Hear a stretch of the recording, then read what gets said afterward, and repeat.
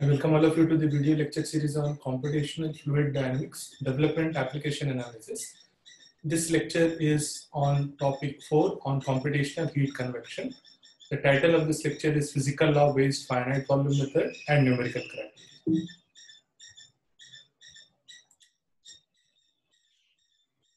I started this lecture series with first topic on introduction, which corresponds to the first chap two chapters, chapter one and chapter two of this companion, of the companion book of this video lecture.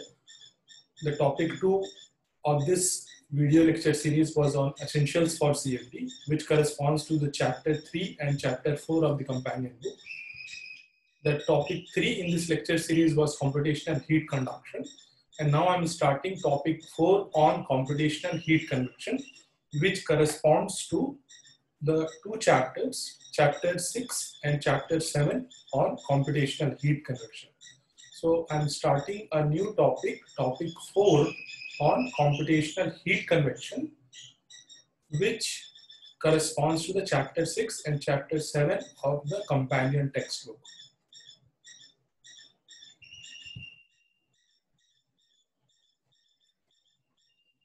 So for the topic 4 on computational heat convection, in this lecture, I will cover the, there are four subsection in this topics. I will cover the first two section in this video lecture on physical law based finite volume method and numerical criteria where basically I'll present the stability criteria and stopping criteria for computational heat convection.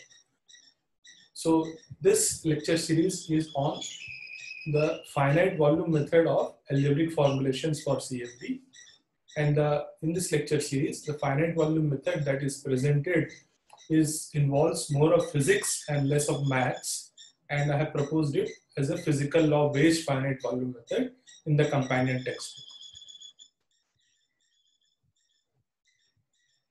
In the previous video lecture on essentials of fluid dynamics and heat transfer for CFD, I had presented a topic on transport phenomena, transport mechanisms, where I presented there are that in fluid mechanics there are two transport mechanisms.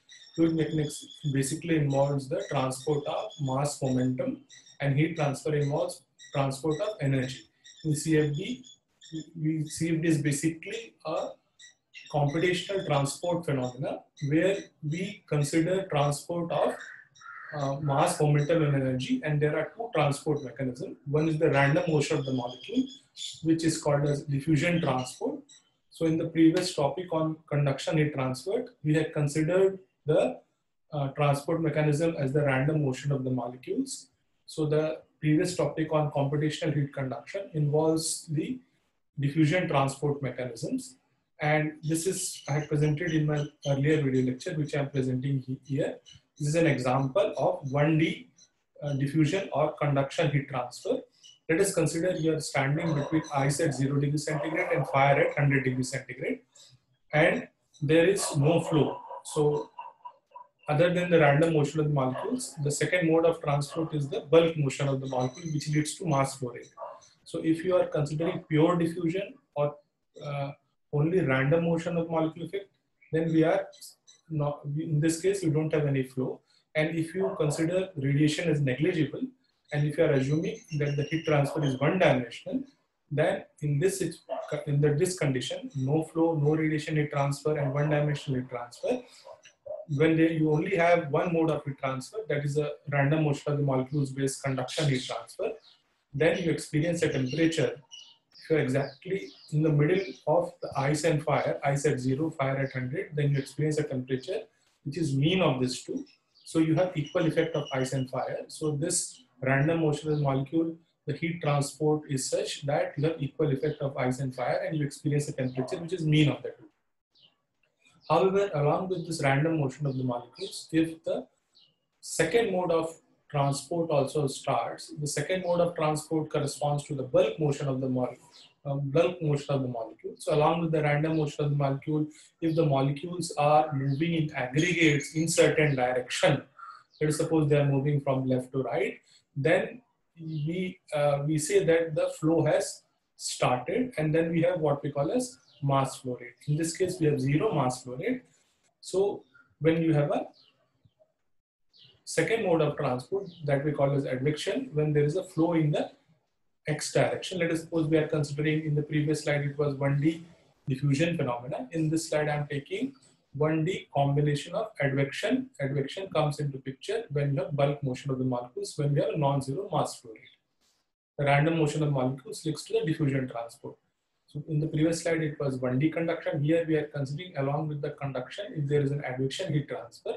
So this is, is called as 1D advection diffusion phenomena or 1D convection heat transfer. So along with the random motion of molecules, let us suppose you are standing between ice and fire and let us suppose the flow starts from the left side. The flow is moving from left to right. So you might have experienced that if let us say this is a snow-laden mountain, and in winter season, if the cold, if the wind blows from the ice side, then we say there is a there is a cold breeze which is coming, and you start feeling more cold. This is because with, when the wind blows, uh, then the second mode of transport, which uh, the advection mode, gets initiated, and which leads to enthalpy transport. So along with the conduction transport, there is a second transport, which is the enthalpy transport. And that enthalpy transport along with conduction transport leads to convection transport and you start feeling more cold. So just to give an example, if the wind is blowing from the snow-laden mountain or ice at zero degree centigrade at a velocity of one meter per second, then let us say you experience a temperature, you start feeling more cold. So the cold breeze is blowing and you are feeling a temperature of 40 degrees centigrade.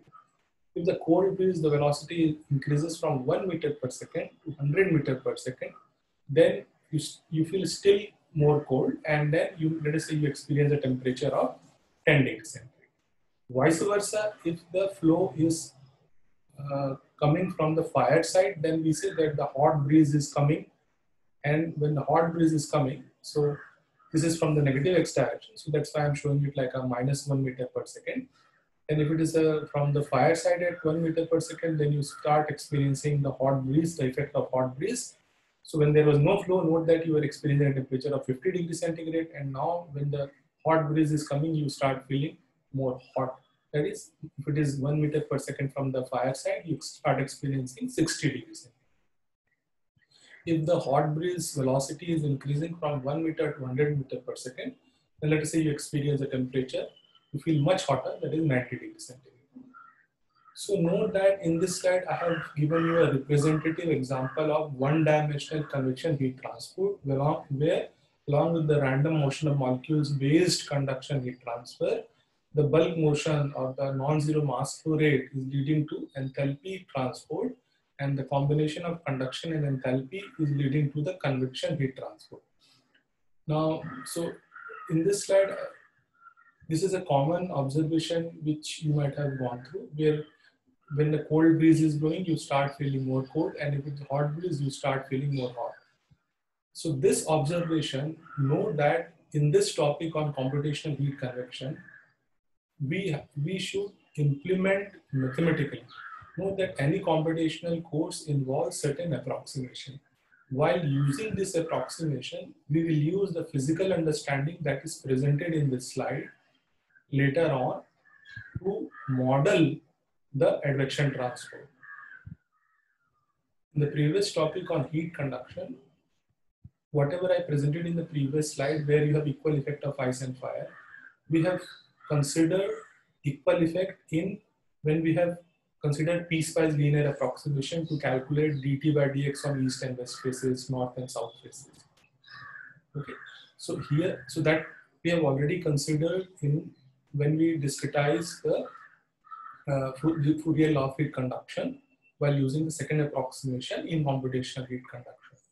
Now, in this topic, later on I will show you when we will make approximation, the second approximation for the enthalpy transport, we have to take into account the role of not only the magnitude of the mass flow rate, but also the direction of the mass flow rate into our approximations that we are using.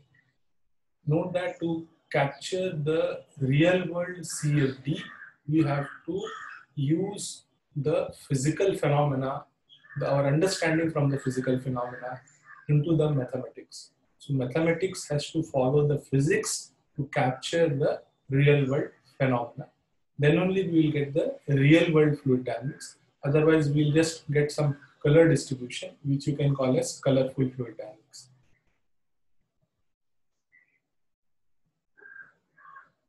So I started with conduction and then I went into convection. Conduction involves only one more, more uh, transport, that's random motion of the molecules. Convection involves conduction plus enthalpy transport, that is advection. So let us suppose conduction is like X, um, convection is like Z, and convection is a combination of conduction plus advection. So let us suppose convection is Z, conduction is X, advection is Y. Then you have a formula like Z is equals to X plus Y, that is convection is equals to conduction plus advection. in this slide, I am showing you an advection heat transfer. You in real world, you cannot have a pure advection heat transfer because you cannot stop the random motion of the molecules in any fluid.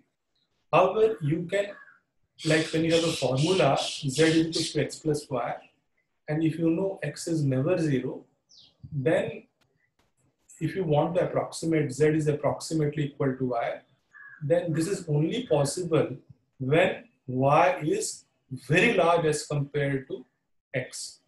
So what I'm trying to say is if x is conduction, y is advection. And if you want y to be very large as compared to x, so that we can say that we have almost pure advection phenomena. So to have that, we can have a large value of advection when the mass flow rate is extremely large. So in the previous slide, you had seen that as we were increasing the velocity of the cold breeze and hot breeze from 1 meter per second to 100 meters per second, then you start feeling much cold. So much cold if it is cold breeze, much hot if it's from the hot breeze. Similarly, we can approximate pure advection if the mass flow rate is close to infinity. So if you have extremely large velocities from the ice side, then note that you experience a temperature which is close to zero degrees centigrade. Note that in the previous slides it was equal to, but in this slide it is, this sign is called as approximately equal to zero degrees centigrade. It will never be exactly equal to zero degrees centigrade. Okay, so if you have an extremely large velocities, Similarly, if an extremely large velocity of hot breeze coming from the fire side, then you experience temperature close to the temperature of fire. So this is an example of one-dimensional pure advection when you have an extremely large flow in the x direction. However, this is not commonly observed. This is more of a hypothetical situation than the real world situation because in the real world situation, we never have such a large cold breeze or hot breeze so in reality, what we mostly observe is a combination of advection along with the random motion of molecule-based conduction that is called as convection, which I have shown in the previous slide. And this topic is titled as computational heat convection.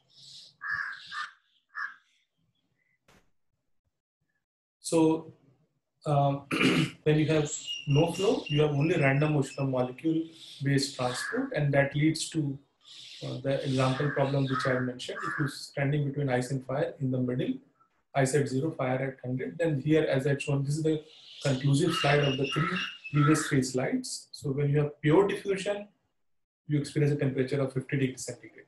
Where you have almost pure advection heat transport, then you experience either zero or 100. And but this is more of a hypothetical situation. More commonly in real world, we have convection where depending on the direction of flow as well as the magnitude of the flow to start feeling more hot or more cold. And this observation, note that we will later on apply in computational heat convection while doing the algebraic formulation using finite volume method in while using a second approximation that we call as advection schemes. I'll come back to this in later slides. Before I move on to the physical law based finite volume method, along with this transport mechanism, I would also like to go back to conservation law, which I had presented in Essentials of Fluid Dynamics and Heat Transfer for CFD. in fluid dynamics and heat transfer, uh, this mass, momentum, and energy conservation law, although they were originally presented for fixed mass system, but due to the fact that in fluid mechanics heat transfer, uh, instead of keeping track of the fixed mass, we use a fixed region approach, which is called as an Eulerian approach. So as compared to Lagrangian fixed mass approach, when you use an Eulerian approach, fixed region approach, then all these laws, when we use in, uh, in your, if you're used in your undergraduate fluid mechanics transfer, this basically talks about the rate of change of uh, mass, momentum, and energy. Now, this rate of change, uh, in a, when you move from Lagrangian to Eulerian, this rate of change in Lagrangian, it's a single term, but in an Eulerian approach, it gets converted into two components the first component is rate of change of mass, momentum, and enthalpy stored inside the control volume. And the second rate of change is rate of change of mass flow rate, momentum flow rate, and enthalpy flow rate leaving across the surface of the control volume. This is the net uh, mass, momentum, and enthalpy flow rate leaving. So to calculate net you have to take whatever is leaving minus whatever is entering inside the control volume. So these are the two rate of change. Now, if we compare the previous topic, which was on computational heat conduction, with this topic on computational heat convection, note that in computational heat conduction, we only had the first rate of change, that is rate of change of enthalpy stored inside the control volume.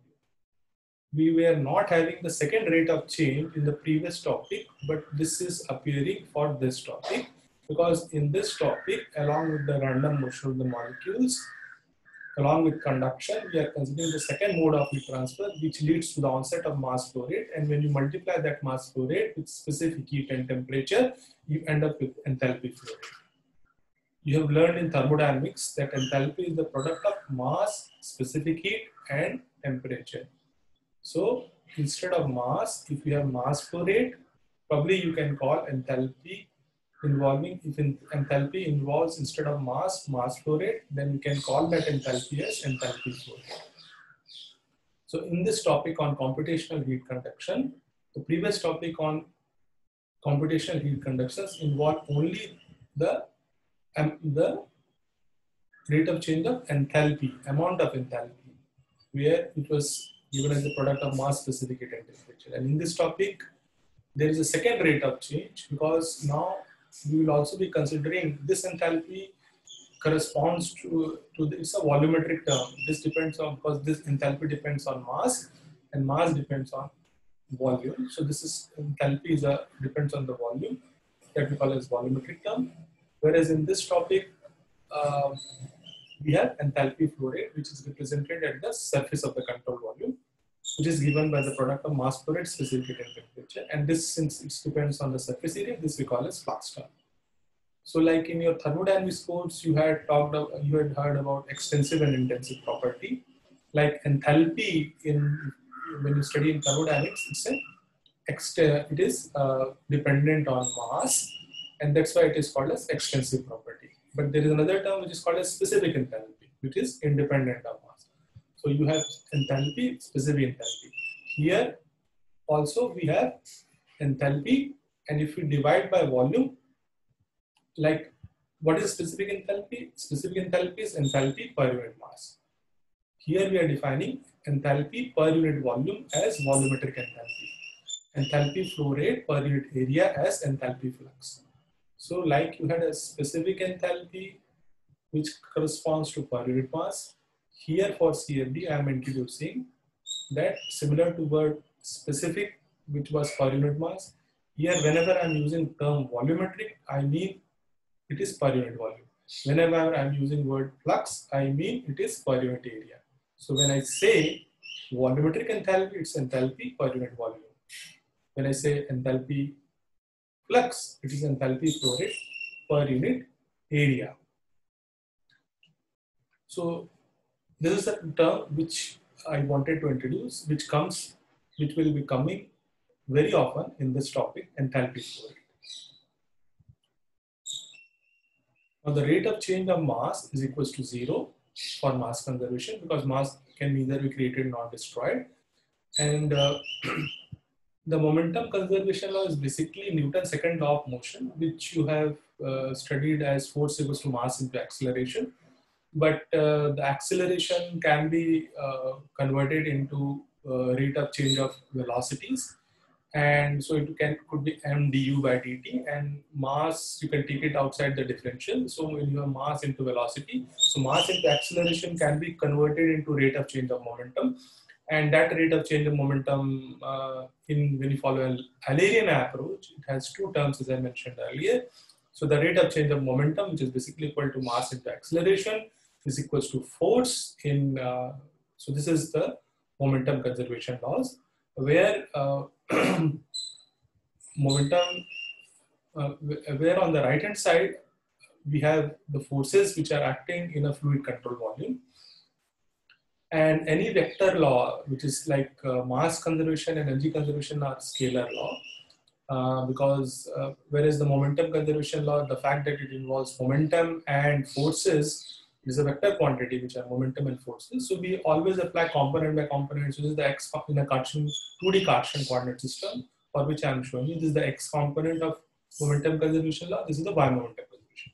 The rate of change of uh, x momentum uh, the rate of change of x momentum, which is given by these two terms, is equals to the viscous forces acting in the x direction, pressure forces acting in the x direction, and the body force acting x. Similarly, this, this is for the y direction.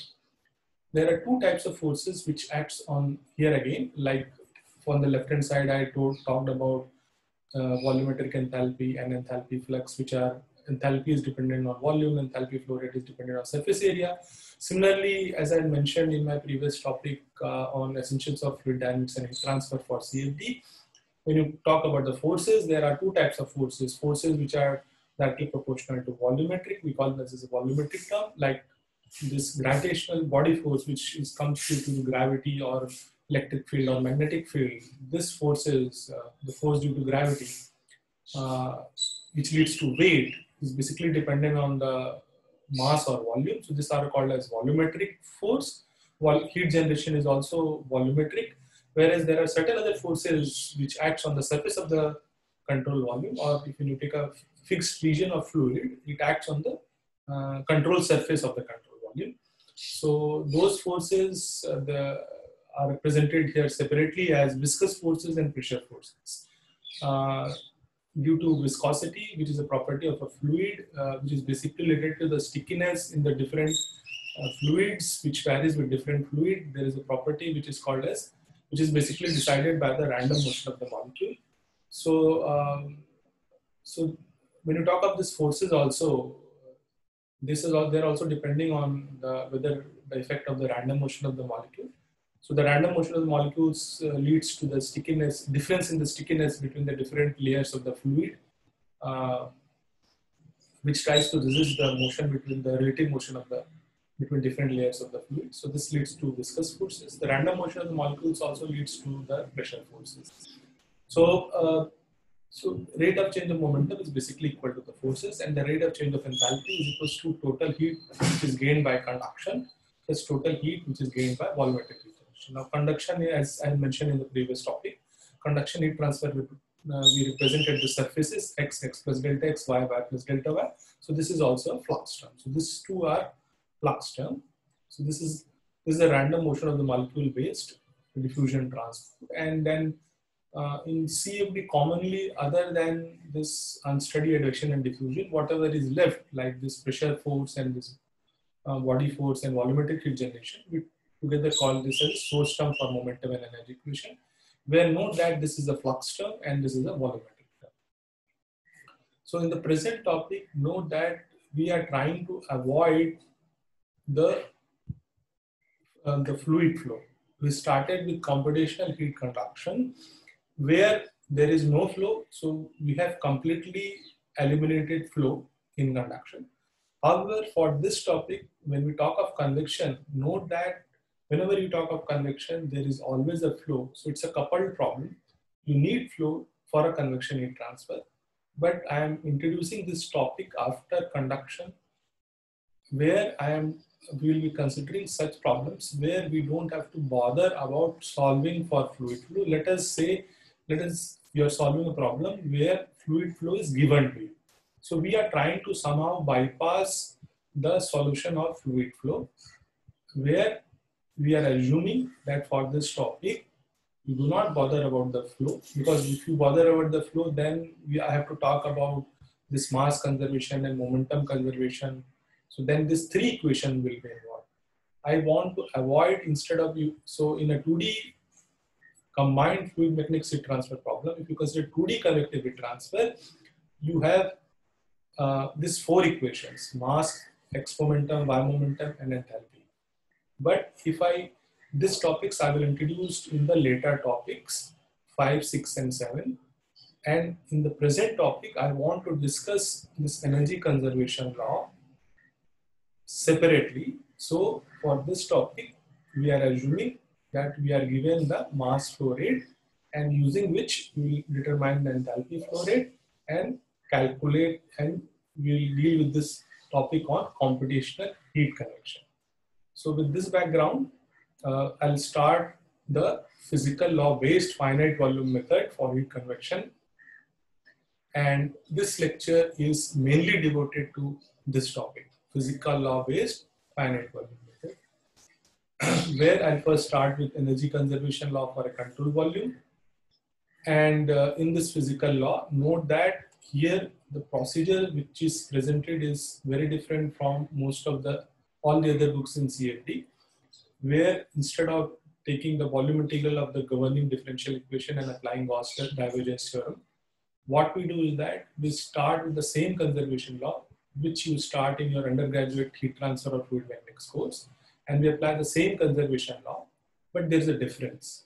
In your undergraduate course, you take the control volume, apply the conservation law, and using a continuous math, you take the control volume as infinitesimal, delta x, delta y tending to zero, delta t tending to zero, and using continuous math, you derive differential equation. Here, taking the same control volume, applying the same conservation law but instead of using continuous math, here we will use a discrete math. And here, here we will use a discrete math which is independent of continuous math. So to begin with, when as soon as we are, we are applying the conservation law, we will break the continuity by saying that our variables are discrete. The variables that you encounter while applying the energy conservation law are like conduction rate, transfer rate, enthalpy flow rate, you also encounter the amount of enthalpy. So all these variables in your undergraduate course, you have considered them as continuous variables. In real world, when you do measurements, like any measuring instrument, if you see, the data which you get from any measuring instrument is always discrete in nature because each measuring instrument has certain time constant. So you get a data like if for a temperature measuring instrument, you get a data for temperature after certain time interval. So in real world, there is, when you talk about the, you cannot, the results which we get either experimentally or computationally, they are always discrete in nature. So here we are breaking our habit of using continuous math and we are directly using a discrete math and trying to obtain the algebraic equation which are the governing equations in CFD. Note that partial differential equations are the governing equations of analytical fluid dynamics. Algebraic equations are the governing equations for computational fluid dynamics. So we are deriving our governing equation using a different type of math, which I, which I here call as discrete math. Okay, so we are not taking the help of continuous math to derive the algebraic formulation, which is done in almost all the books in CFD. This is just a different way of proposing algebraic formulation. However, note that the final linear algebraic equations which uh, you obtain from both the techniques, whether it's a uh, partial differential equation based finite volume method, which is there in almost all the books in CFD. Uh, the final algebraic equation is same. It's just that here it's a the flavor is little different. Here it's more of physics and less of math. Uh, because it is believed uh, based on my experience that you get a more physical feel of this formulation uh, when you go through this procedure. However, uh, you can feel free to use the procedure which you are more comfortable. There are certain uh, beauty about the partial differential equation based uh, finite volume method is that um, uh, you can have a much shorter derivations, although the algebra remains same, but to begin with, however, you can get a better physical understanding while following this procedure, the physical law based finite volume. So uh, I'll start with the energy conservation law and then I'll show you the linear algebraic formulations. Um, and then I will show you two approximations. Note that whether you follow partial differential equation based finite volume method or physical law based finite volume method, which I'm presenting here, the approximations are exactly same. That's why you end up with same algebraic equation, whether you follow either of the techniques. So first I will show you in this topics the linear algebraic formulations where I will use a discrete math, but I will not apply the approximations. Okay, so there are the variables that we will encounter are variables which are varying over a time interval of delta t, variable which are varying over a surface area, variable which are varying over a volume.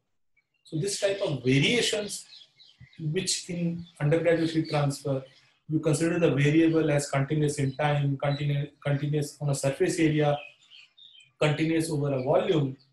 In this computational course, when we use a discrete math, instead of a continuous over time interval delta t, continuous over a surface area, continuous over a volume, we will approximate by one time instant value for time and one point in a surface or a volume.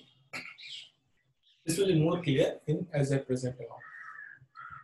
So in these two subtopics, I will present without any approximation where I will use the time average and space average. When I use space average, there are two types of space average, surface average and volume average.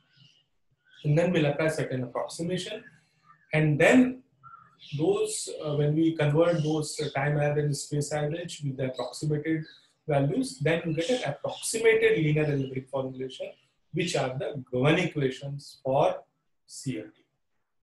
Note that the linear algebraic equation that we derive from the energy conservation law are the are the are, are linear algebraic equation which uses certain approximation and they are presented here as approximated linear algebraic formulation.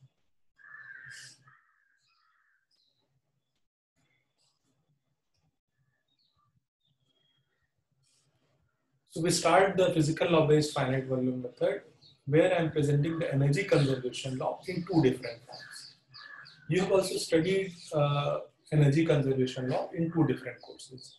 Like first you study in uh, thermodynamics where the statement of energy conservation law is given as amount of heat. Whereas when you go to a heat transfer course, the energy, same energy conservation law is given, but the statement is little different the now instead of amount of heat in thermodynamics, the energy conservation law involves the rate of heat transfer. So let me get started that the energy conservation law that you, have, you use in heat transfer is the energy conservation law which is applicable at each and every time instant uh, where it says that the rate at which net conducted thermal energy enters a control volume must be equal to the rate of increase of enthalpy. This curl, curved H I call as is a symbol for enthalpy. When I talk of rate of change of enthalpy, it's a time derivative.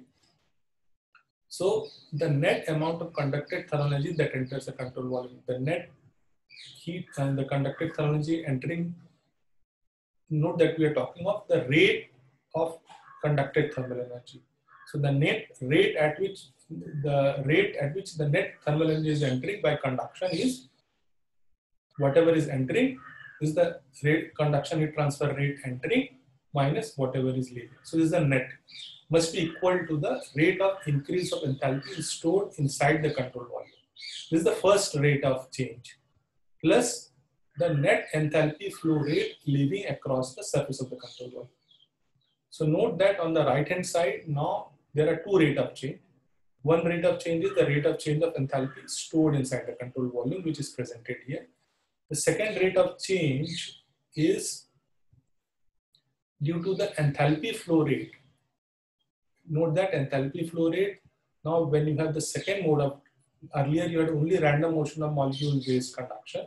Now, when you have a second mode of transport where now the driver is the mass flow rate. So when you multiply the mass flow rate with the specific heat and temperature, then you get a variable which is called as enthalpy flow rate. So at the surface of the control volume, the fluid is entering with this enthalpy flow rate and it is leaving with this enthalpy flow rate. So when you take the difference of whatever is leaving minus whatever is entering, like in your room, if there are windows and if heat is entering through this enthalpy transport from one window and it is leaving from another window, then whatever is stored inside your room, you have to take the difference of the two.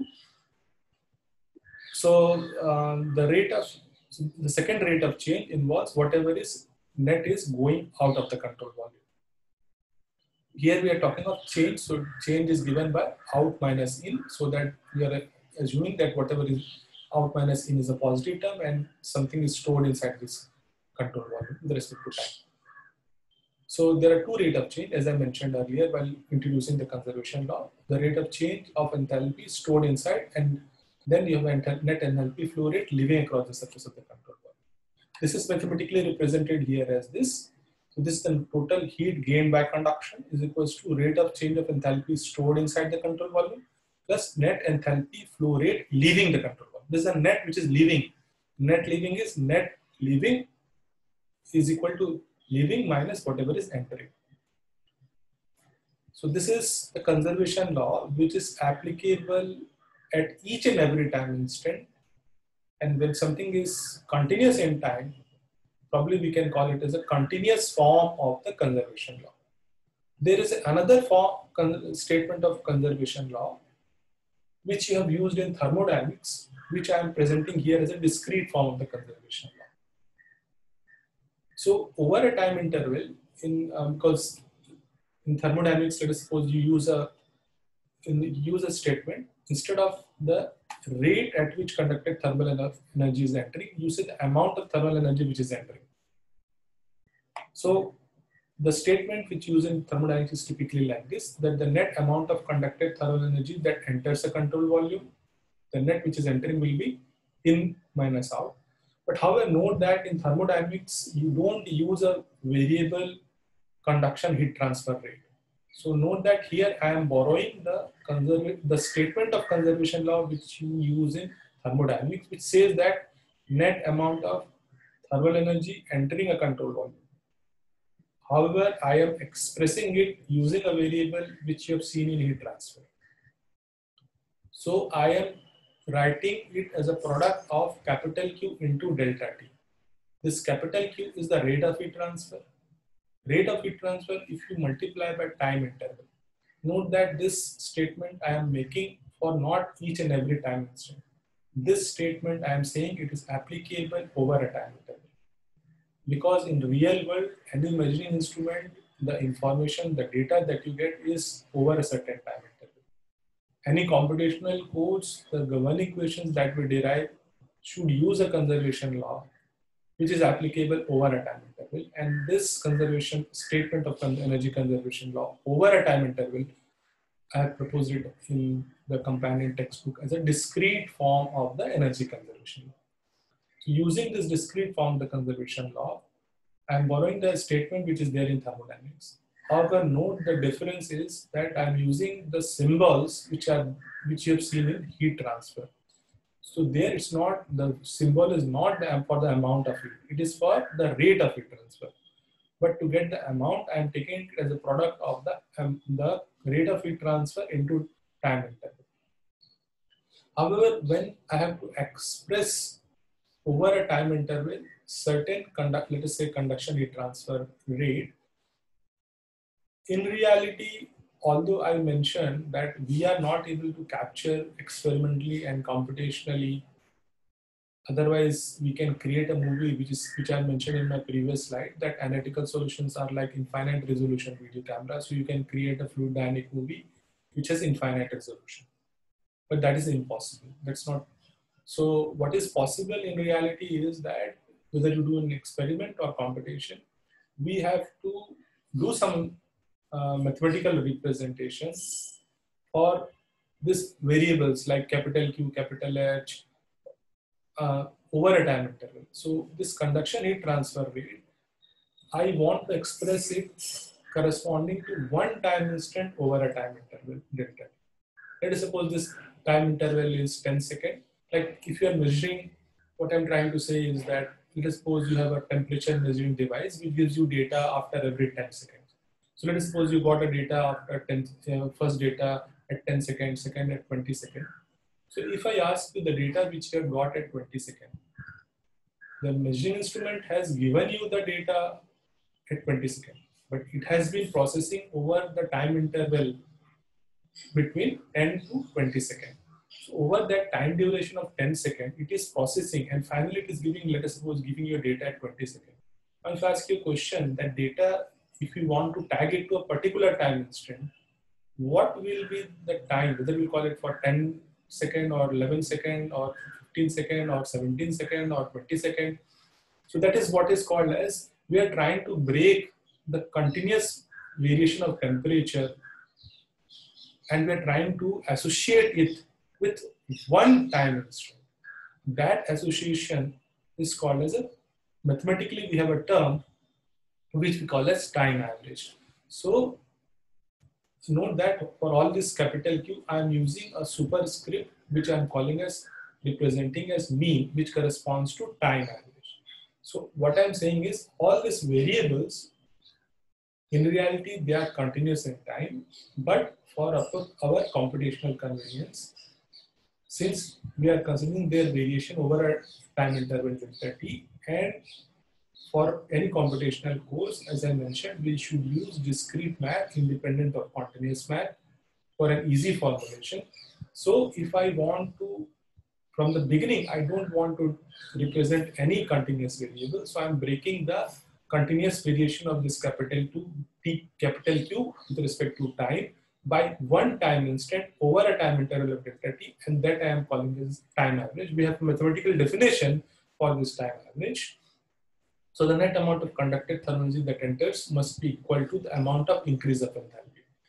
Okay, now this enthalpy is like a point function and when you talk of its increase with respect to time, uh, then you can, uh, this delta H is basically enthalpy at time instant, uh, if you're your time interval is delta t, then you are moving from time t to t plus delta t. So this is the enthalpy at t plus delta t minus enthalpy at t. So this is the amount of increase of enthalpy stored inside the control volume. But there is a second increase also which happens plus the net amount of enthalpy leaving. Now note that this net amount of enthalpy leaving, I am writing it as a product of enthalpy flow rate into time interval. Enthalpy flow rate has also a unit of uh, heat transfer rate. So any rate term when you multiply by the some time interval, then you get the amount. So here note that two things you have to note. First is the I'm using a, a variable capital to capital H, which are which are rate terms. It is like this is like conduction rate, transfer rate, this is an enthalpy flow rate. But for the statement, since I have amount, I am multiplying by the time interval that's the first thing. Also, you need to know that this variation of Q and H, it's like a path function over a time interval delta t. Okay, so basically I'm approximating integral of Q dt where the limit is varying from t to t plus delta t by this value, which I'll show you uh, as an equation further. Let me show you. So this is the uh, amount of conducted thermal energy that enters the control volume. This is equals to amount of increase of enthalpy. This is like a point function over a time interval delta t. And this is the uh, net amount of enthalpy leaving across the control volume. So note that this is coming from the first rate of change stored and this is leaving across the control volume. The first here both this variable, if you see, the symbol that I'm showing you is same. Here it's also capital H, but here it is also capital H. But the way the symbols, these are like curved edge, which is this variable corresponds to the enthalpy. This straight edge corresponds to enthalpy flow rate. Note that here you are not multiplying by delta t because this is not a rate term. This is a rate term, so that's why you are multiplying by delta t to get the amount. Now, if you take this um, uh, enthalpy flow rate from the right hand side to the left hand side, then you get delta H, the increase of enthalpy over the time interval is equals to now this minus if you take it to the right uh, left hand side this becomes plus. So you get uh, the conduct conduction heat transfer rate which is entering plus enthalpy flow rate which is entering. Now the combination of this is due to the random motion of the molecule this is due to the bulk motion or mass flow rate. So the combination of the conduction heat transfer rate and the enthalpy flow rate we can call it as a convective heat transfer rate. So this two term I am presenting as a single term Q convection with the subscript CONV. So this is the convective heat transfer rate. So the change in enthalpy over a time interval delta T is equals to the net convective heat transfer rate which is entering minus the net convective heat transfer rate which is leaving. This convective heat transfer rate is a combination of conduction heat transfer rate and enthalpy flow rate. And as I mentioned earlier that to use discrete math from the very beginning in this derivation while introducing this conservation law, the discrete form of the conservation law, we are breaking the continuity of variation of Q. Q is varying with time like a path function. So it is uh, varying like if you want to calculate amount, strictly speaking, this amount is equal to integral of Q dt limit t to t plus delta t. But this integral term, we have a mathematical definition that if something is varying over time like a path function, then we can express it by one time instant. Mathematically note that this is an equal sign, not an approximate sign. We can equate this term as q mean into delta t, where this q mean mathematically it is called as time averaged value. So we are representing discrete variables, all these variables as discrete variables where they are time averaged values. So we are breaking the continuous variation by using the mathematical definition of time averaged here and later on for flux term we will use another averaging that is called as space averaging. We will use two types of space averaging, volume average for amount of enthalpy, this H, and the surface averaging for enthalpy flux and conduction flux. I would also like to point out, so this conservation law uh, will lead you to the differential equations. And through this conservation law, for this topic, I will show you how you can derive the approximated linear algebraic equation using physical law based finite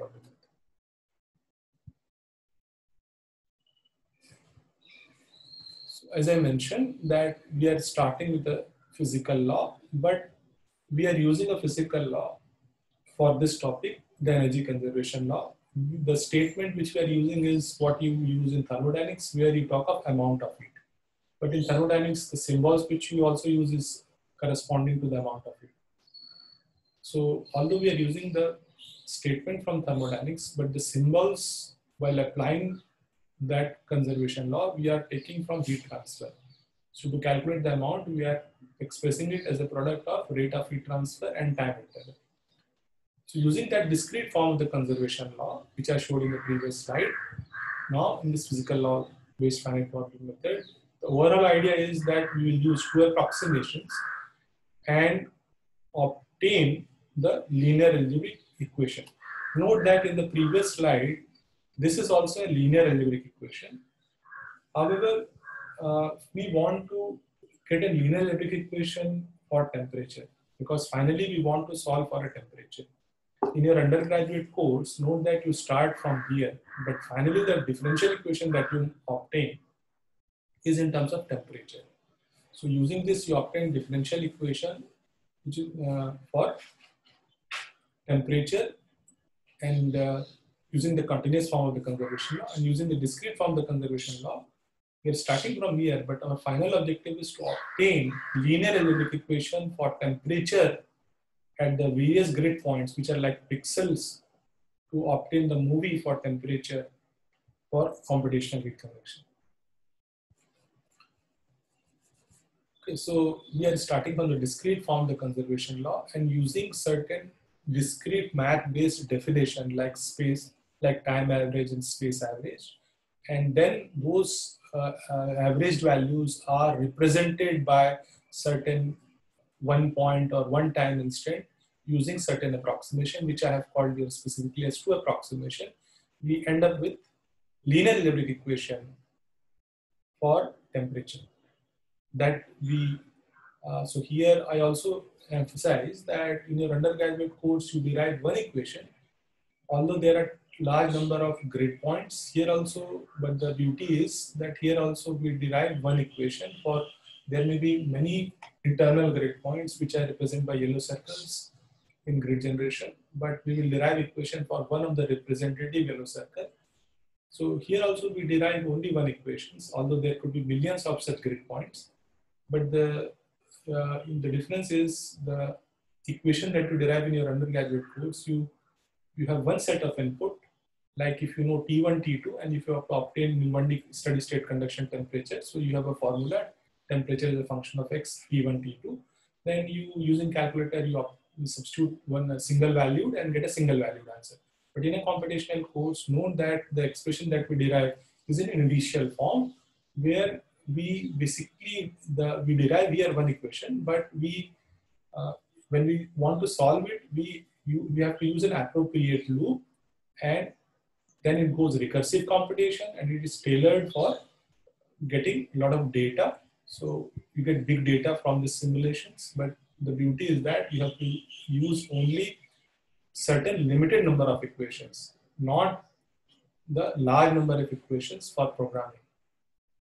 So the equations are tailored for recursive computation. You just have to decide the loops, the data structure, which are like nuts and bolts for developing the CLS. So, uh, so with this overview, let me, I started with the energy conservation law for control volume. Now let us go to the algebraic formulations. Right now, note that I'm not using any approximation. So everything I represent as equal sign.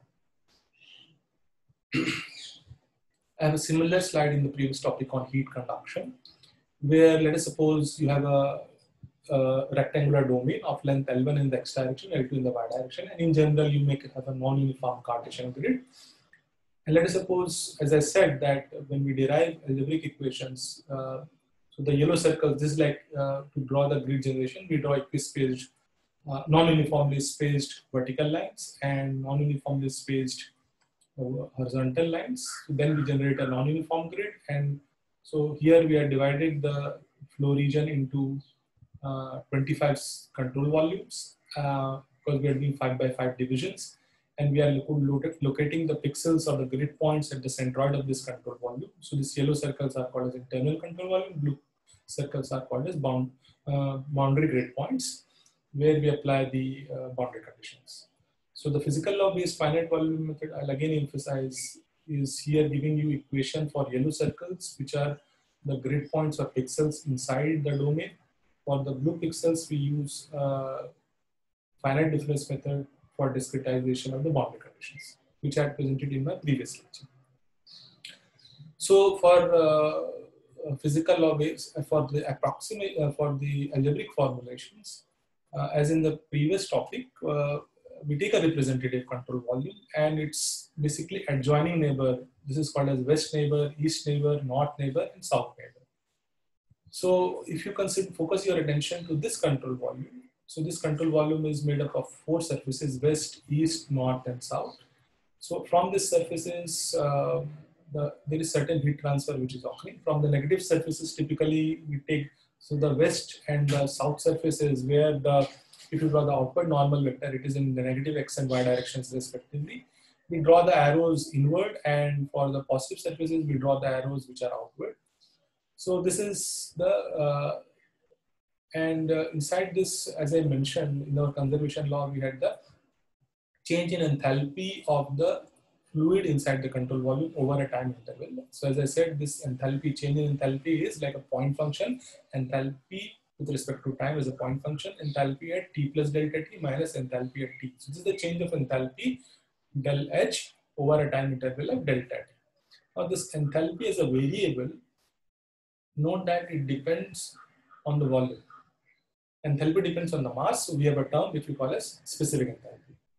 Enthal and mass also depends on the volume. So in CFD, instead of specific enthalpy, we use a term which is called as volumetric enthalpy. So this is a, uh, so I'm same H if I have with an overbar, I mean it's a volumetric term. So what is does this H represent? It's a mass into specific unit. What is this uh, H bar represent? It represents density into specific into uh, temperature. Okay, so if you divide this by volume, you get H bar. So this H is equals to H bar into volume and the volume, uh, now again, uh, strictly speaking, this H is a volume integral, which is an, like I presented in my previous slide, uh, the conduction heat transfer rate and the enthalpy flow rate as a surface integral. So this enthalpy, because if you consider uh, this term, uh, rho CPT, uh, for most of the problem, uh, rho Cp are not varying in space if you consider incompressible flow. And uh, however, if you consider uh, certain problems, like when you consider mixed convection and natural convection, density is a function of temperature. However, we can express the enthalpy by one, so, uh, since we are using a discrete math, whether we try to uh, break the continuous variation. So this enthalpy is varying in a volume.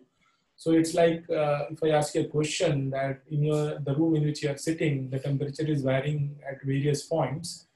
Uh, if, if you want to break continuity and if I want you to tell me which is the best point in the room which represents the overall variation of temperature in the room, then probably you will come up with your intuitive answer that probably the center of the room or the centroid of the room will should be the good word. So this is an approximation later on, intuitive approximations intuitive ideas which later on come into the approximation. But what I'm trying to say is that here I'm presenting not as an approximate value, but as an equal value where the enthalpy is expressed in terms of the product of the volumetric term into the volume. So this enthalpy is expressed as a uh, volumetric enthalpy where we are representing it by volume average value. This conduction heat transfer rate, now I would like to introduce that uh, uh, this conduction heat transfer rate is uh, like you have specific enthalpy and then volumetric enthalpy. So this specific and volumetric are per unit mass and per unit volume. Similarly, for this terms like capital Q and capital H, we will use another term because they depend on the area, per unit area term. Per unit area, we'll call it as flux. So uh, the conduction heat transfer rate, like enthalpy we have expressed is the product of volumetric enthalpy into volume. So this kind of capital Q, we will express it as a product of small q into surface area. So this small q is a per unit area term, uh, capital U divided by A, area surface area. So these are called as conduction heat flux. So now this conduction heat flux, strictly speaking, uh, if you take, let us suppose, uh, Qx on this vertical surface, Qx is varying point by point. But if I want to express it by one time instant value, we call that as uh, surface average value. So note that in Q I am using in the capital Q I only have one subscript because I have only one direction corresponding to the direction of surface. So when I say Qx, I so note that this uh, the control volume is consisting of four faces. Typically, the west surface we call it as x, right surface we call it as x plus delta x, south surface we call it as a y, north we call it as y plus delta y. So this is here we have Qx, here we have Qy, here we have Qx plus delta x, here we have Qy plus delta. So this, but with, uh, when we change from capital to Q to small q, this capital Q is a scalar term. It's a product of heat flux as a vector and surface area, which is also a uh, vector. So when you take the dot product of heat flux and surface area vector, you get a scalar. So this capital Q is a scalar term. However, even if they are scalar, you are associating it with certain surfaces on which this Q is acting. But when you go to the um, heat flux is a vector, there is a second direction which comes other than the direction of the surface is the direction in which the, uh, uh, the heat flux is acting. So on the vertical surfaces x and x plus delta x, you have qx. And on the south and north surface, you have qy. so the first subscript for q represents the direction of the heat flux and the second subscript is basically representing the direction. So this x is corresponding to this But here, this heat flux, I'm writing it as average at x. What I mean is that average at surface x, which is the west surface. When I write qx comma average at x plus delta x, what I mean is that qx value of qx, which is a surface averaged value on a surface x plus delta x, which is each surface.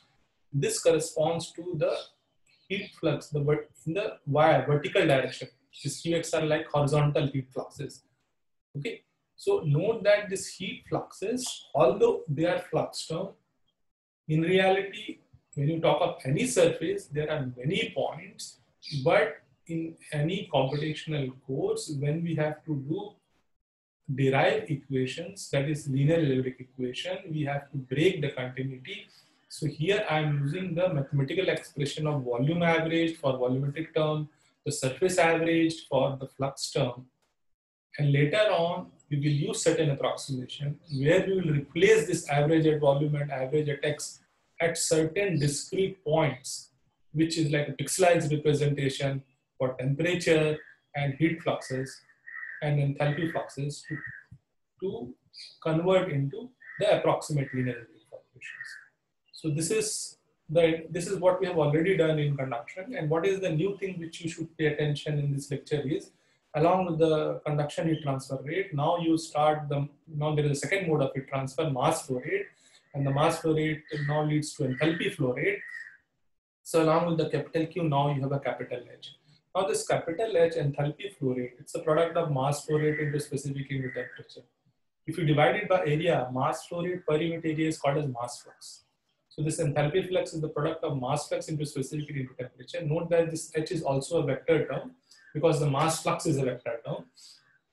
Uh, so, so the enthalpy flow rate is basically the dot product of mass flux is a vector and surface area is a vector and the dot product of two vectors give you a scalar. So this enthalpy flow rate is also a scalar, but we are showing a subscript to represent the direction in which this enthalpy flow rate is acting.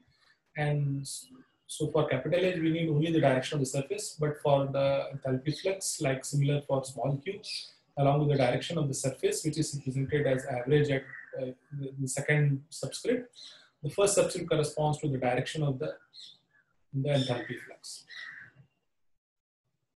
Okay, so uh, in the previous slide, I have introduced time average, which, which is represented here. So over a time interval, if some variable is varying, uh, we are expressing a mathematical one point representation we call as time average. When we have a variable which is varying in a volume, we are expressing by one point value, whether that one point value mathematically is called as volume average. When we have the flux variable, when some variables are varying over a surface area, mathematically we want to break that continuity and we want to express it by one point.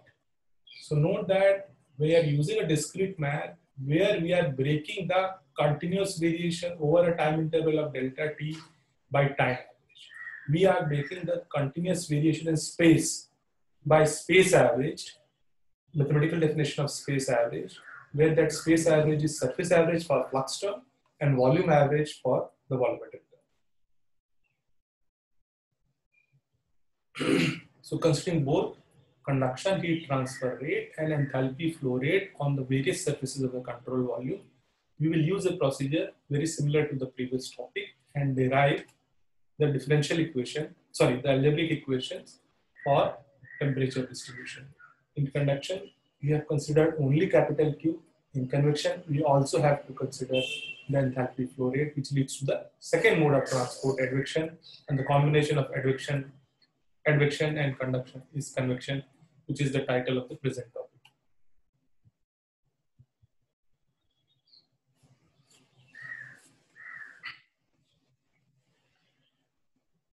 Here I am showing you a more mathematical, uh, rigorous uh, representation uh, because earlier I had discussed more in words, more as a philosophy, but this is like a foolproof mathematical derivation where I have uh, started from the fundamental principles mathematically I have here I'm showing you each and every step and basically trying to show you that finally we end up with uh, this change of enthalpy uh, where we have break the continuous variation of a volume. Uh, the detailed derivation are presented here and you can refer the book to get more detailed discussion on this integrations. Uh, where note that uh, um, for each surface is like, just to give you an example, uh, here note that uh, for Q conduction, it is, this is corresponding to, you are considering the heat flux as Qx um, at surface X. So if you see Qx, the surface area in a 2D problem, its a surface is a vertical line. Now, when you do an integral, when you want to consider the variation of Qx on the Qx on the on this surface, the limit of the integral will be y at southwest minus y at northwest, which is shown here. Similarly, for east face, it will be the y coordinate of southeast minus y coordinate uh, to the y coordinate of northeast. So, the surface integral in a 2D problem becomes a line integral uh, and the volume integral becomes area integral in a 2D problem. So I have started with the from the basic definition and uh, from there I have introduced the mathematical definition of uh, space averaged. And finally this is the expression uh, this is the algebraic formulation that we obtain from the energy conservation law in discrete form where the left hand side is the uh, amount of enthalpy, uh, the change of enthalpy over a time interval of delta t, where, it is basically a product of enthalpy, volumetric enthalpy into the volume. So the change in enthalpy over a time interval of delta t is equals to total heat gained by convection. Note that the total gain heat by convection is equals to total heat gained by conduction minus total heat lost by advection. I would like to draw your attention that so this is the, uh, and this, this involves enthalpy. This involves enthalpy flow rate. These are, these are coming from the rate of change. This is the first rate of change and this is the second rate of change in the energy conservation law. On the right hand side, we have total heat gained by conduction. If you look into the expression, you should know that for this, we are, if you see this expression, the, if you see the positive and negative sign, know that it is, it is, it is on the this is here you have x. This is the west surface. X plus delta x east. So you are doing west minus east plus south minus north. So basically for conduction, you are considering the amount of heat entering minus leaving. So this is when you consider entering minus leaving, this is the total heat gained by conduction. Whereas for the enthalpy flow rate, note that while introducing the conservation law, I have mentioned net enthalpy flow rate leaving. So when you consider net enthalpy flow rate leaving, then you have to consider the difference between the positive surfaces that is east north. So that's why you see x plus delta x. There is a difference. Here the x plus delta x, when you consider x plus delta x, there is a negative sign. Here it is a positive sign. So uh, the at Q advection, you calculate net heat which is going out. For Q conduction, it's the net heat which is entering. So on the left hand side, this is the net heat which is leaving. But that net heat which is leaving, when you take it to the right hand side, then you get a negative sign. Uh, now, when you talk of the net heat which is leaving is like heat which is lost.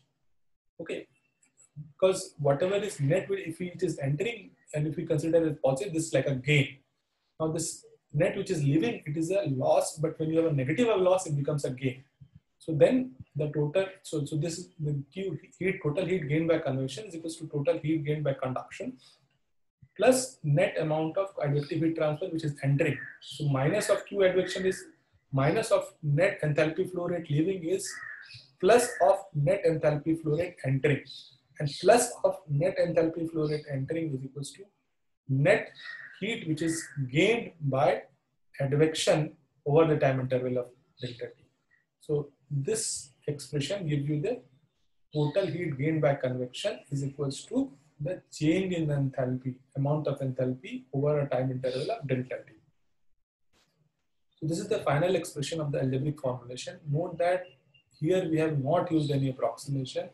We have used just discrete math where we have break the continuous variation in time by using time average and continu continuous variation in space by average at volume and average at surface for the volumetric and flux term respectively.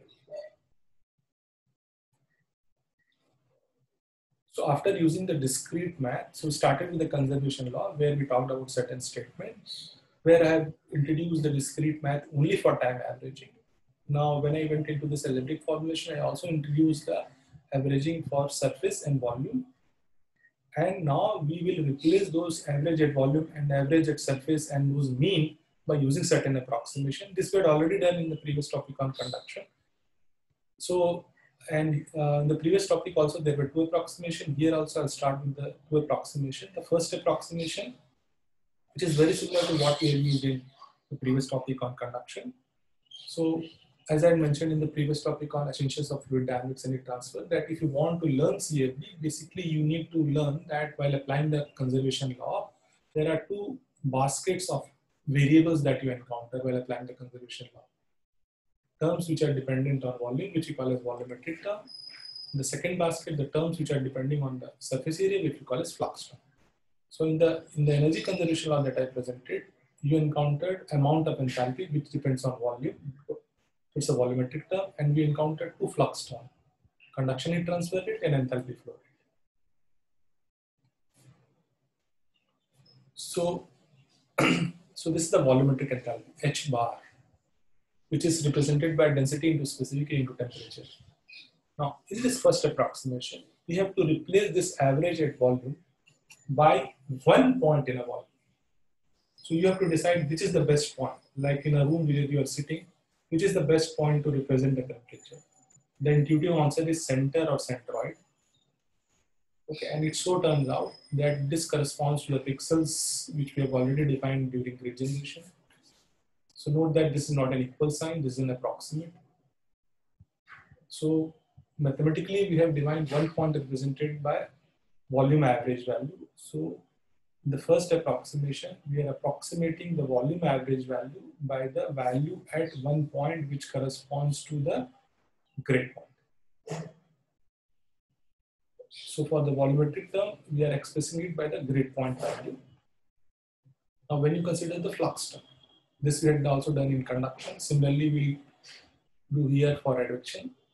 So this, now we have to decide like on this surface x, this is on the surface x plus delta x. So on this surface x plus delta x, we have now this variable wants to know surface average value. When you say surface average value, we want to get one point representation of qx which is varying on this vertical line. So now we want to replace this one point representation at surface x plus delta x. So which is the best point on this vertical line? The answer, intuitive answer is center. So we represent by the centroid. So we take the centroid east, west, north, and south. So it is like we are introducing the pixels, green pixels for QX, red inverted triangle pixels for QY. So we are now we are using approximation. We are we are replacing this surface average and volume average by one point in a volume and one point on a surface. In this topic, we also encounter enthalpy flux. And for that, so not only uh, this green square is a pixel for Qx, but it is also pixels for enthalpy flux and later on for momentum flux when you go to uh, fluid mechanics as well as for mass flux.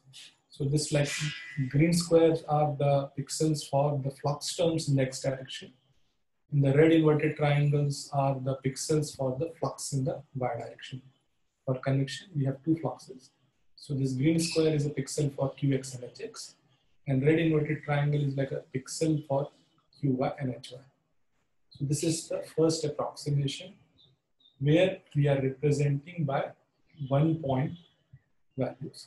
But in the one, we have replaced the subscript, but average, but we also have to replace the superscript. But we have to decide one time instant also.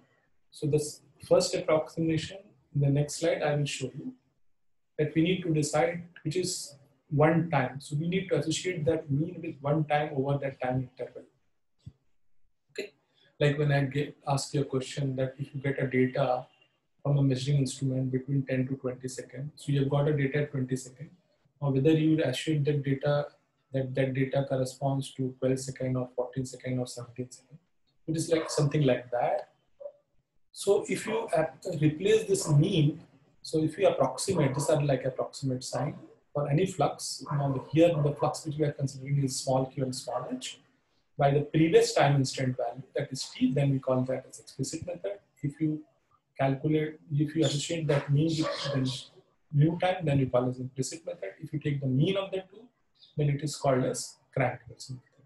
This we had already done in conduction for conduction flux. Now here we are also doing for enthalpy flux.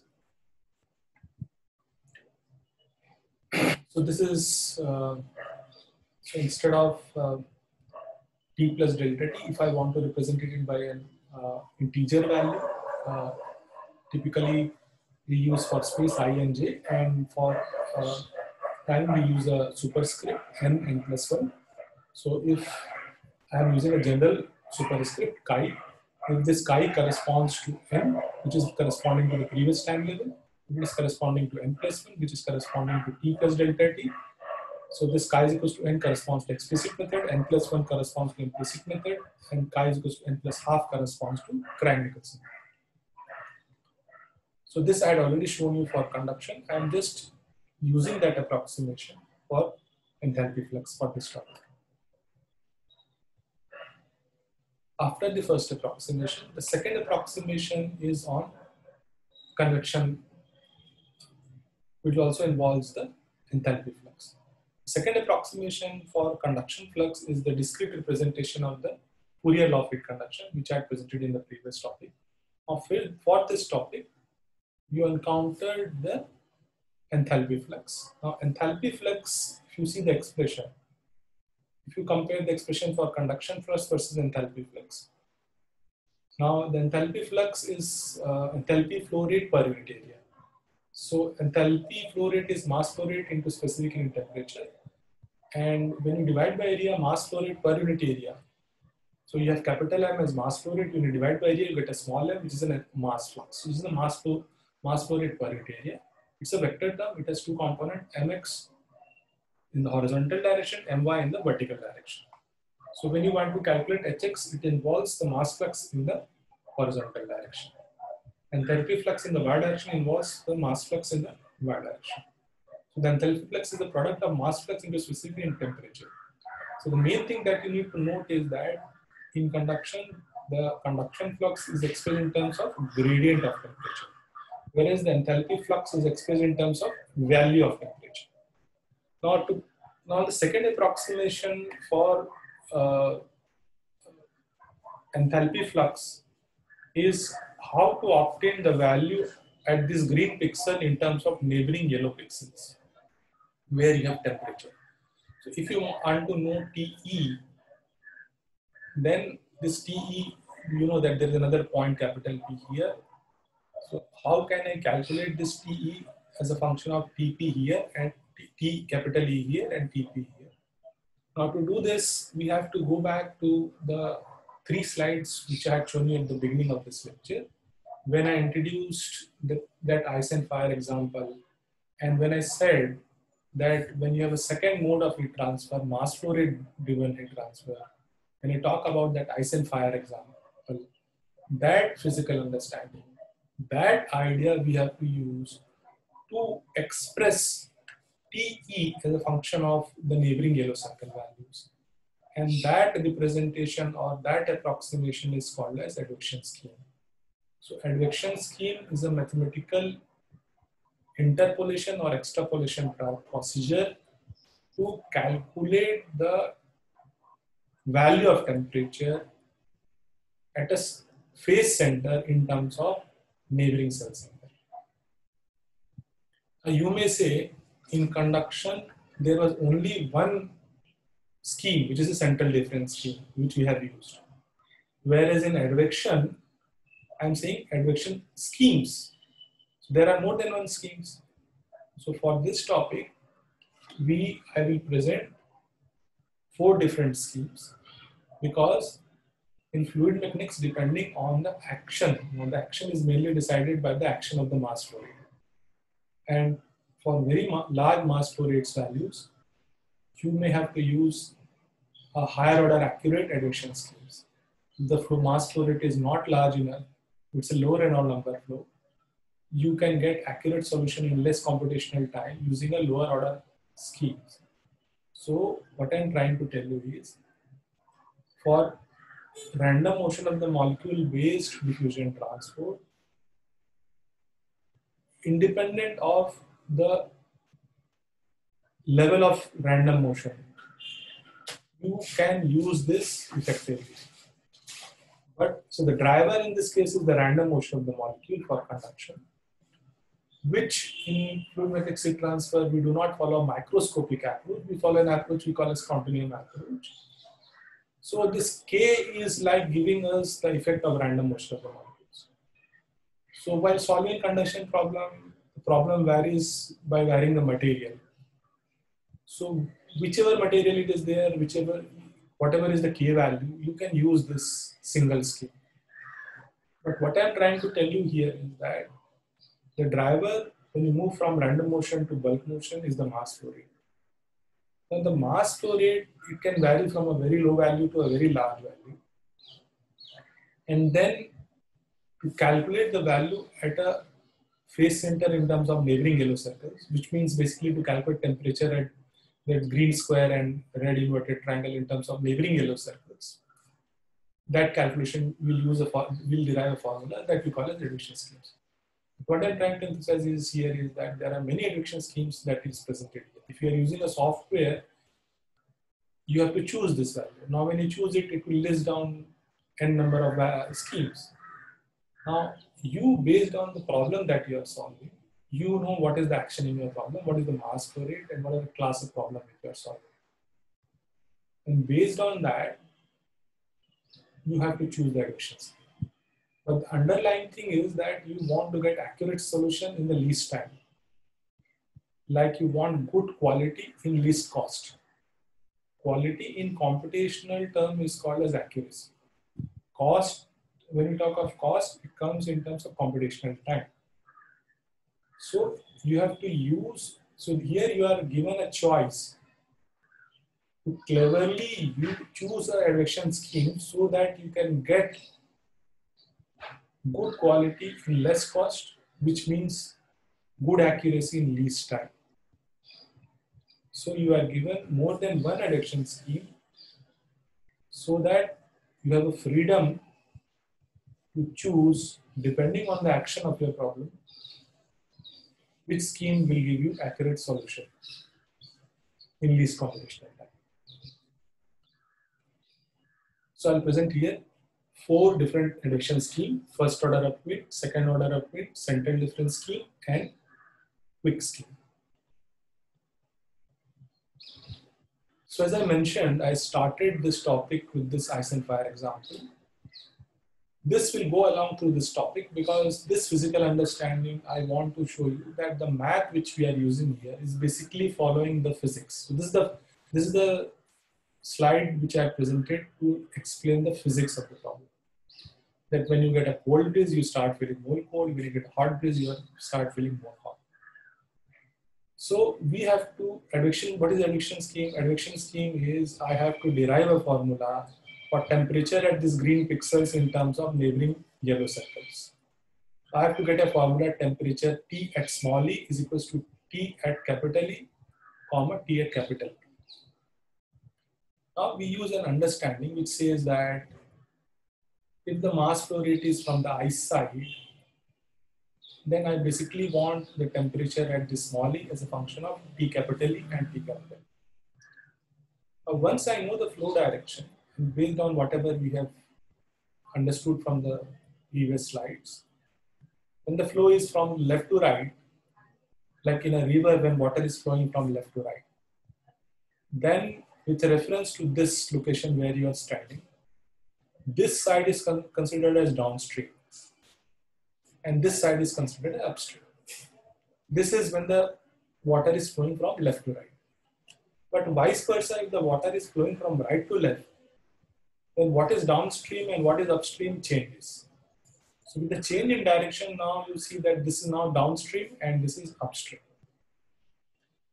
So our, in this selection scheme, we want to obtain this TE. So here I'll present two schemes. this is like a first order upwind scheme, which is, says like this, that if the flow is from the I side, the TE should be equal to T. If the flow is from the fire side, TE is equals to T capital. So what is it saying? In general, it is saying that the temperature should be equal to the temperature of the upstream neighbor. When the flow is in the positive x direction, the upstream neighbor is Tp. When the flow is in the negative x direction, the upstream neighbor is T. So the first order upwind gives 100% weight in the expression to the upstream yellow circle. Whereas if you consider a central difference scheme, it's like a more of a diffusion transport, which is giving 50% weight to the ice and 50% weight to the water, uh, let us suppose fire. So it is giving 50%, 50% weight to both upstream and downstream neighbor. So that way this expression is independent of the direction. Because if it is, so saying it is T capital E plus T uh, capital P divided by 2, independent of, because in, if it is 50%, then the, the, the direction has no role in the expressions. This is, these are the two different schemes.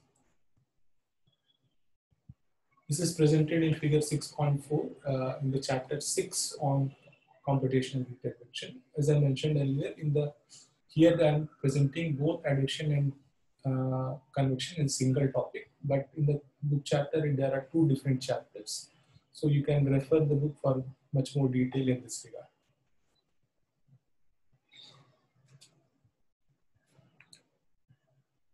Now, if you want to obtain higher order schemes. Like earlier, you had involved in first order upwind only one upstream point, but actually in our problem, uh, we not only have one yellow circle on the let us say left side, but there could be another yellow circle which is left to left.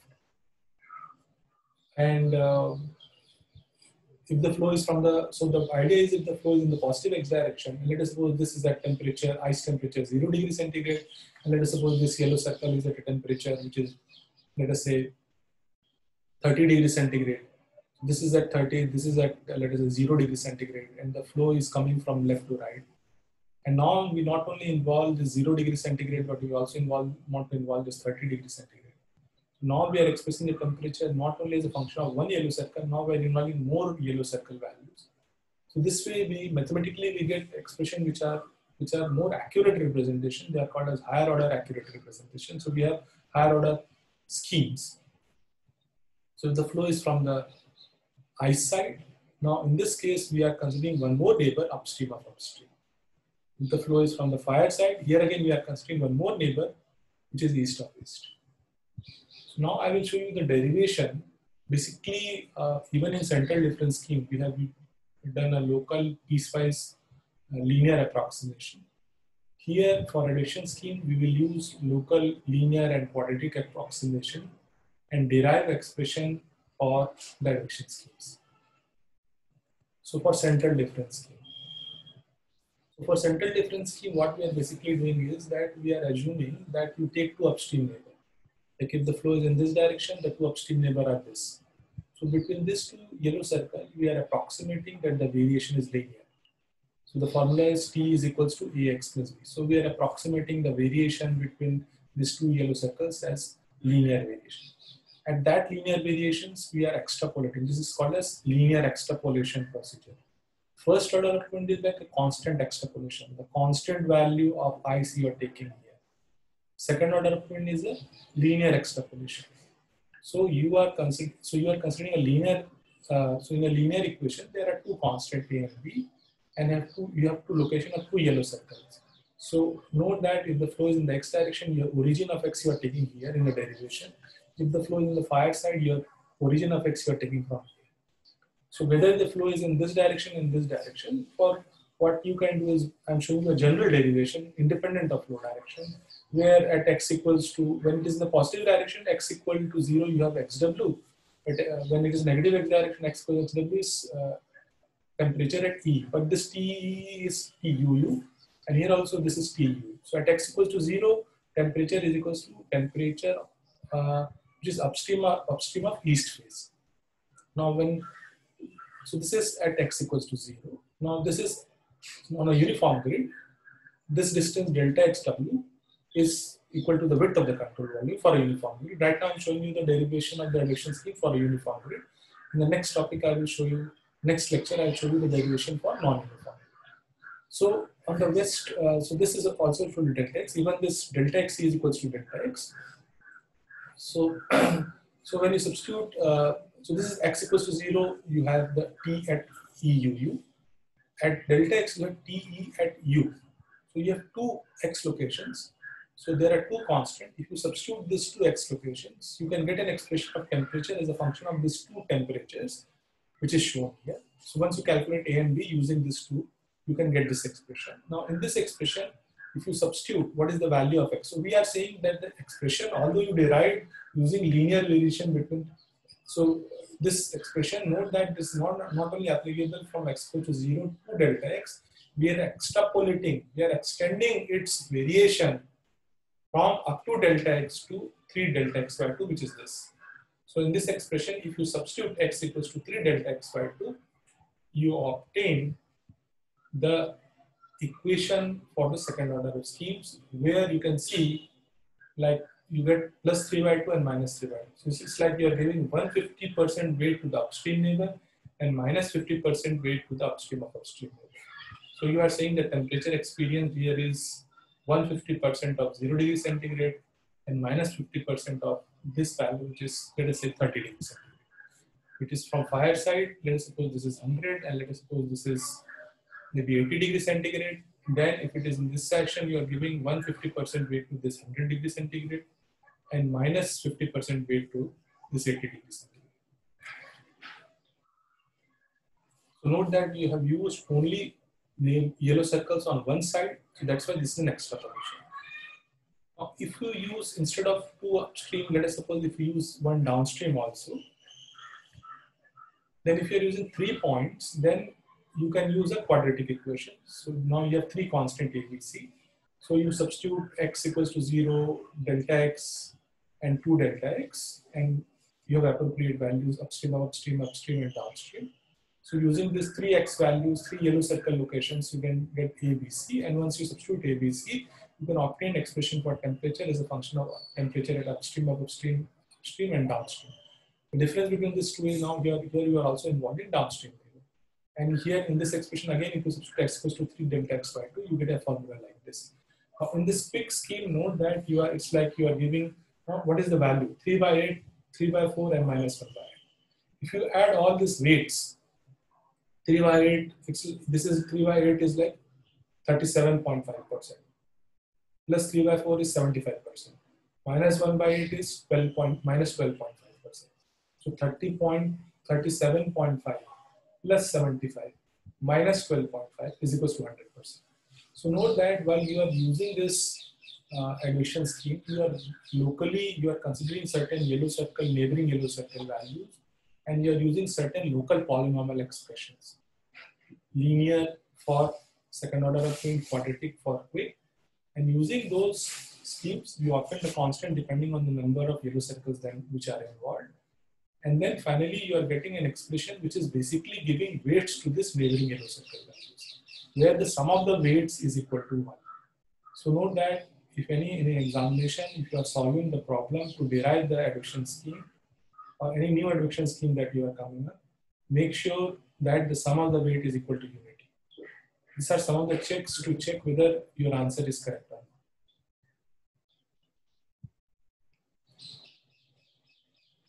note that while solving any problem, you don't know what is the exact answer, but you should be clever enough to know that what you are getting is not a junk or absurd. So as I am saying here, you should be clever enough to judge that while deriving a advection scheme, the sum of the weight is equal to unity. So this is like an overall check that you can confirm that probably you are in the right direction. This figure is given in, uh, this is uh, all these equations which I presented is presented in figure 6.5 of the companion. So note that uh, I presented now four schemes, uh, first order upwind scheme, second order upwind scheme, central difference scheme, and QUICK schemes. Now if you see all the schemes, I'll just make a summary of that. first order upwind involves only one neighbor, that is the upstream neighbor.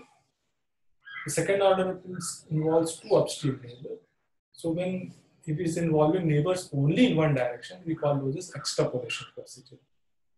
Note that the derivation which I did in the previous slide are the are, is called mathematically as extrapolation or interpolation procedure. When the neighbors are involved only in one direction, it is called as extrapolation. One neighbor for first order upwind, two neighbor for the second order upwinds. And it involves neighbors on both sides. Then the mathematical procedure that we had used in the previous slide for QUICK, it is called as interpolation. So central difference scheme is called as it's a basically a linear interpolation. Involves one downstream and one upstream neighbor, and this is the expression which we have obtained. And for the QUICK, we have take, taken one downstream and we have taken two upstream neighbor. And, these are the expression for first order upwind, second order upwind, central difference, and QUICK, where 100% weight is given to upstream neighbor in first order upwind. Second order upwind, it is 150% to the upstream and minus 50% to upstream of upstream. Central difference gives equal weight, 50%, 50% to the upstream and downstream. and QUICK gives 37.5 to the downstream, 75% to upstream, and minus 12.5 to upstream of upstream. And the sum of the weights in all these cases is equal to unity. Here I have presented four schemes, but note that if you look into the literature in published literature in CFD, there are many other schemes. Uh, there are higher schemes which people used for compressible flow, multi-phase flow. This is just an introduction to CFD. This lecture is on introduction to CFD, but when you want to learn advanced there is just like a beginning where I would like to draw your attention that uh, you should, whenever you look into this expression, you should uh, try to understand that this are not just the mathematical expression. We have we are trying to follow the certain physical phenomena which I presented through the Tyson fire example. So the fact that uh, the temperature that you experience depends on the flow direction. That's why this formula involves upstream and downstream. So maths is following the physics.